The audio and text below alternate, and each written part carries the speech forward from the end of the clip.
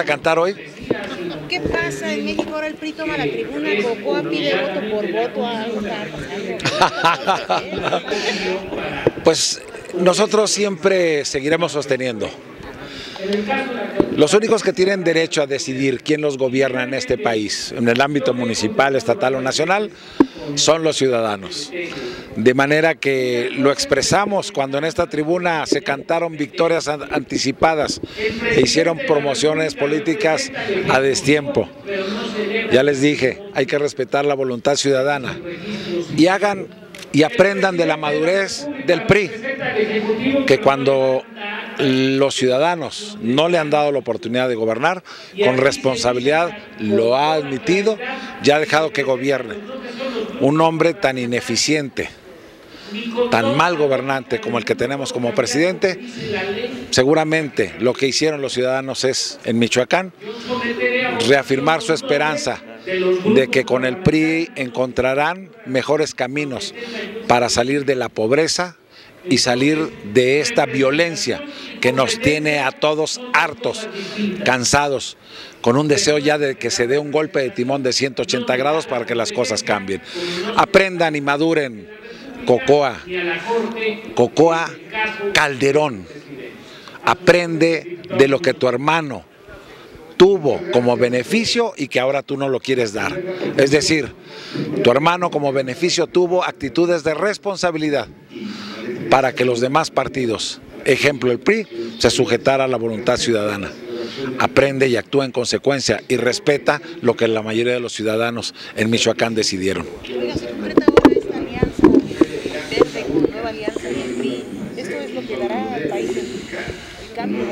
La aprobamos anoche nosotros aprobamos anoche una alianza. Nosotros sentimos que hay una identidad en, principios en cuanto a protección de medio ambiente con el Partido Verde y en cuanto a elevar la calidad educativa a propósito de nueva alianza. Son propósitos que no son excluyentes de lo que como partido político el PRI propone, de manera que en esa alianza lo que pensamos es sumar más voluntades para todos trabajar conjuntamente por ese proyecto que nos debe de unir, que es México. Estamos hartos y cansados de este país que no sabe superar elecciones, que cuando la ciudadanía decide no concitemos, invitemos y lideremos que se hagan proyectos de nación únicos. Hemos vivido seis años de una constante lucha donde pareciese que la elección no terminó. Nosotros lo que queremos es regresar a la senda de la institucionalidad, que cuando el 3 de julio amanezcamos con resultados de resultados preliminares, cuando tengamos ya los números concretos, empecemos inmediatamente a pensar en lo que sigue, que es, reitero, un objetivo fundamental. El PRI lo que quiere es un país con menos pobres y con menos delincuentes. Y en eso no se cree poseedor de la verdad absoluta. Sumará la inteligencia de muchos mexicanos que deben de decirnos el cómo debemos de lograrlo.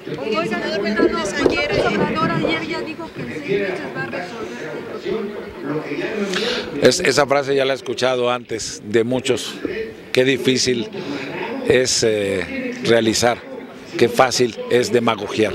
Oiga, el senador expresó su descontento por este cambio en la convocatoria de presidente del PRI. Ha dicho que a lo mejor hasta se baja de esta precontienda. No conozco de la expresión de Manlio. ¿Y qué, qué opinión le merece este cambio que hubo en la, en la convocatoria del PRI? Y ahora sí los, los gobernadores podrían expresar sus opiniones. Mire, en lo personal, yo le digo que yo no creo que nadie tenga el derecho de coartarme mi libertad para yo poder expresar con quién simpatizo. Es una contienda democrática, es un una contienda en la que tenemos eh, el día de mañana tendremos quienes se registren como aspirantes y en el momento en que se haga, yo creo que yo como legislador, más que legislador, como ciudadano, como militante de mi partido, yo tengo derecho de manifestar mis simpatías razonadas. Diputado, pasado ya todo este proceso de discusión del presupuesto de egresos, finalmente ya se van a, sentar a discutir ahora sí la terna de consejeros. Aquí por enésima ocasión te digo, la voluntad del PRI exista, es que existan tres consejeros y que esté completo el IFE. Es evidente que quienes votan en contra de que exista un IFE completo, pues con su voto están manifestándole su realidad, no lo quieren. ¿Quiénes han sido? PAN y PRD. Ahí está la evidencia, recuerden la votación. Y la síntesis es, si había 17 mujeres y hombres idóneos, cualquiera de los tres que hubieran sido propuestos debieron de haber sido avalados por el Pleno. ¿Qué sucede? Que reitero, mi impresión personal es que no quieren que haya consejeros, pero que no se les olvide, con consejeros completos o incompletos, los únicos que decidirán el 2 de julio del año que viene las elecciones serán los ciudadanos, tampoco serán los consejeros, ¿eh? Oiga, ayer la procuradora reveló que Sócrates hizo, eh, pues, declaró por el caso de Posadas Ocampo. No sé Ya, ya son demasiados temas, no me enteré, pero cuando me entere te platico. Gracias, Les doy un saludo. No se vaya.